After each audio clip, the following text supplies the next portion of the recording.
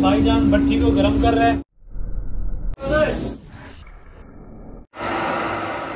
आज मैं अपने दोस्त की फैक्ट्री में आया हूँ कि वहाँ पर करारे जो पापड़ होते हैं स्नैक्स होते हैं, वो कैसे बनते हैं। तो हम आपको आज पापड़ का तरीका दिखाएँगे कि वो कैसे बनते हैं और उसकी कैसे पैकिंग आती है। चलिए हम आपको दिखाते हैं आज का प्रोसेस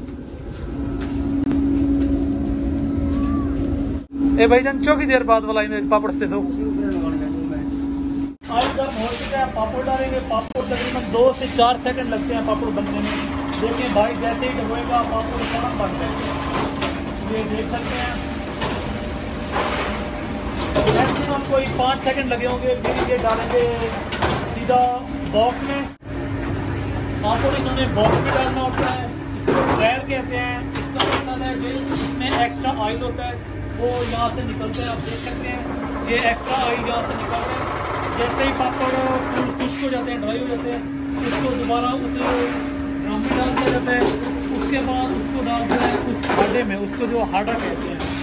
हाडे में डालने का मतलब होता है, इसमें जो गर्म मसाला होते हैं चाट मसाले जायका डालने के लिए ये हाडे में डालते हैं।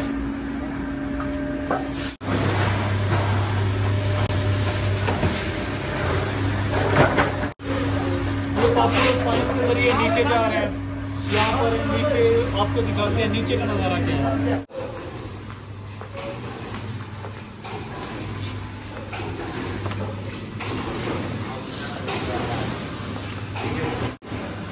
पापड़ ऊपर से आते हैं यहाँ, नीचे बड़े से शापर में, और इसको पैक करता है इसकी तरह। ये जैसे ही सारे पापड़ पैक होते हैं तो ये काफ़ी मशीन हैं।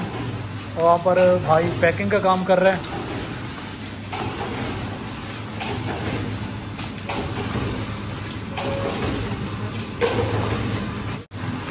ऊपर वो जो पैकेट होता है डाला जाता है और वो सीक्वेंस बाय सीक्वेंस नीचे आते हैं।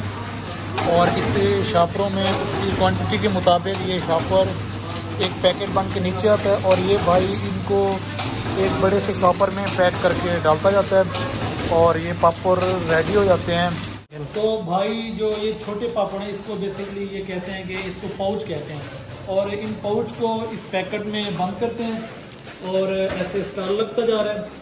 और बड़ों शॉपरों की शक्ल में और इनसे जो बड़े शक्ल शॉपर हैं, वो मैं आपको दिखाता हूँ, जो मार्केट के लिए रेडी है।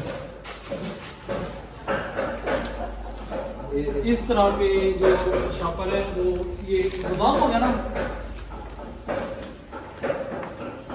अब ये स्टॉक के तौर पे रेडी है। तो ये माशाल्लाह फुल होता है तो इस टाइम पर काफ़ी फील हो जाती है। अच्छा तो फ्रेंड्स एक इम्पोर्टेंट चीज़ जो रह गई थी वो तो हमने की नहीं है हमने पापड़ टेस्ट नहीं किया। तो अभी हम टेस्ट करेंगे और आपको भी बताएँगे कि पापड़ का जो है वो टेस्ट कैसा है। पापड़ वैसे दिखाओ कितना ही माशाल्लाह टेस्टी लग रहा है मसालों से भरा हुआ। मसाला गायद आपने देखा होगा कि ऊपर लगा रहे थे तो मसाला भी लगा हुआ है। इसकी मज़े का है।